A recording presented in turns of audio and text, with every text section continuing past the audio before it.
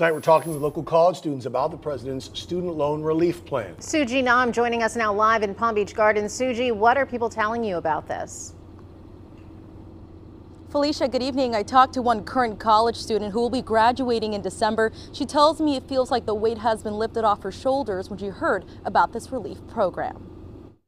Definitely was a heavy load, um, but and thinking about I have a car to finish paying off too, so I wanted to focus on that. Sophia Seacrest is a senior at Palm Beach Atlantic University. She tells us she has more than $20,000 in student debt. Seacrest will be working in Atlanta starting January, and with new living costs, she says the relief program helps lift some of the financial burden. Possibly doing social work type things. Um, obviously doesn't make a ton of money, so that would be helpful uh, having the forgiveness. While many are relieved, some economic experts say this program could have unintentional consequences. The impact is on the market, and I think that's the, the message is how this policy will affect the funding market uh, or the financing market of uh, college education. Even having an impact on the private loan market.